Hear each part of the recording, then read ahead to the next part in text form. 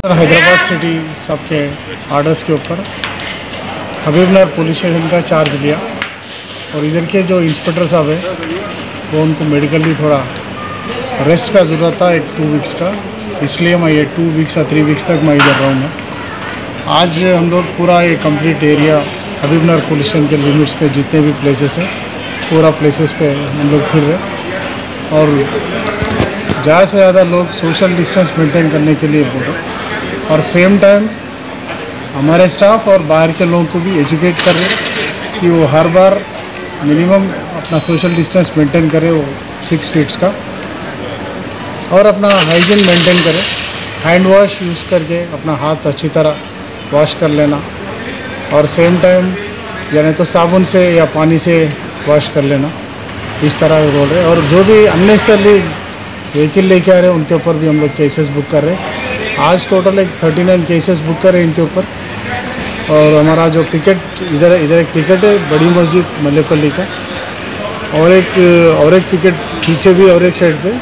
और एक एक चेकिंग पॉइंट है हमारा व्हीकल चेकिंग पॉइंट वो चेकिंग पॉइंट है, वो आसिफ नगर क्रॉस रोड के पास। वो आसिफ नगर क्रॉस रोड के पास, वो day night continue checking point है। तो कोई भी व्हीकल्स आता है उधर चेक कर रहे हैं अननेसरली जो भी है तो व्हीकल के ऊपर केसेस लगा रहे और सबको स्ट्रिक्ट समझा रहे लोग को, फिर भी थोड़ा लोग लूज रहते और उनके लिए थोड़ा टाइट बात करना पड़ रहा बाकी लोग तो समझ रहे जनरली और बस अभी तो फ़िलहाल कोई प्रॉब्लम्स नहीं है इधर। थोड़ा एजुकेटेड है, बोलने से समझ जा रहा अभी इधर जो अपन ठहरे मल्लेपल्ली बड़ी मस्जिद के पास, इधर कल गांधी हॉस्पिटल से एक थर्टी लोग को लाए इधर। वो क्वारंटाइन के लिए। और ये लोग अभी तक तो किसी का भी पॉजिटिव नहीं है इन सबका नेगेटिव है मतलब सब ठीक है। फिर भी सेफ़ साइड के लिए आइसोलेशन कैसे लाए? और इनको मस्जिद में रखने से ये लोग पूरा फ़ूड या जो भी चीज़ देख रहे हैं इधर। इधर दो प्लेसेस है। एक सेवनटीन मेंबर्स है, इधर वो सेवनटीन मेंबर्स पूरा मेल है। और एक बाकी लोग हैं जो इलेवन और तीन बच्चे बच्चों के साथ है लेडीज़ है। वो पीछे एक सेपरेट बिल्डिंग है, वो बिल्डिंग में लगा और उनके लिए कंप्लीट सेफ़ है। और कोई भी उनसे मिले करे भी तो उनको भी पूरा हम लोग एजुकेट कर रहे हैं। तो जितने भी लोग हैं, वो भी मास्क पहनने मास्क पहन के रहना।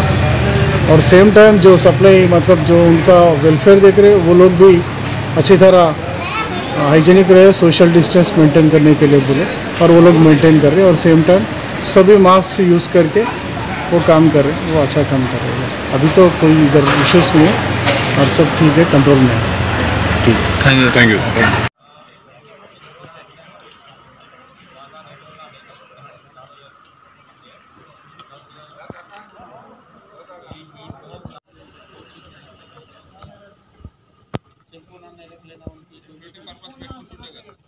हाँ मैं